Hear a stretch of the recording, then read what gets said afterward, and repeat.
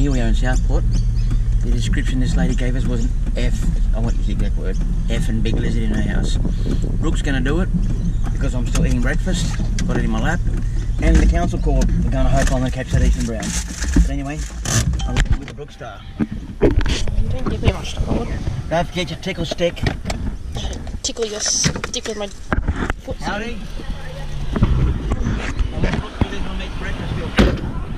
And it's no big deal now. I opened the back door and it's gone outside, but Keep it in the house, we'll be able to have it. oh, we pulled it around. I wasn't going to keep it in the house if I wanted to go out. It's only a blue tongue. It is. Now I've Googled done all my research, but it was in my That's house. for you. Oh, thank you. so now it's out here. My son's chasing it around. But I opened this and it went out here and it's out here. But it can't get out of my backyard. It's They would have lived in your backyard for years. Oh, you would have? So they do. They live in built-up areas like this because they have lots of spots to actually hide. Oh, you know, I was in here today and I dug it all up. So it Oh, you're beautiful. There he is. Let me see.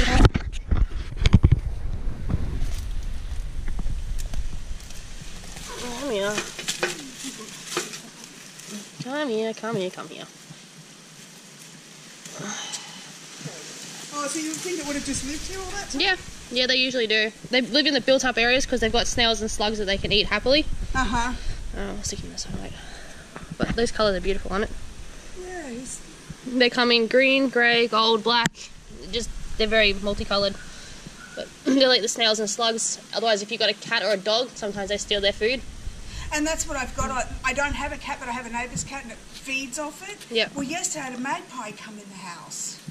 Right in the house, it walked in and took the cat food. Yeah, It no good for that. And then today I got this, but it was in, way into the back of the house. Yeah. Well, did you want me to leave him here, or do you want me to take him away and put him somewhere else? Him. Okay, I'll put him in my backyard. Yeah, you take him. if you're happy to have him. Now we've got like an acre of land, so Yeah. next door have a whole bunch of um stuff that he collects, and they can hide underneath that That's happily. what I thought. You know what? He's. Yeah, I'm quite. But I'm wondering if that's what it was that I stirred it up. I was in there cutting all those It would palm have been. trees back. Yeah. But he was all the way back here when I rang Tony. He was back in this room. Yeah, yeah, they move quite fast for little lizards. They do. Yeah, and so we just followed him. He came out here and he wandered around out here, and I'm like, Ugh. Nah, they're very common. Very, very common. Here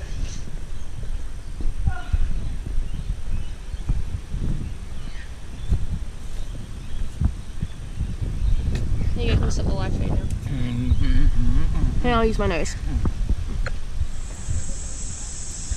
Hey, beautiful girl.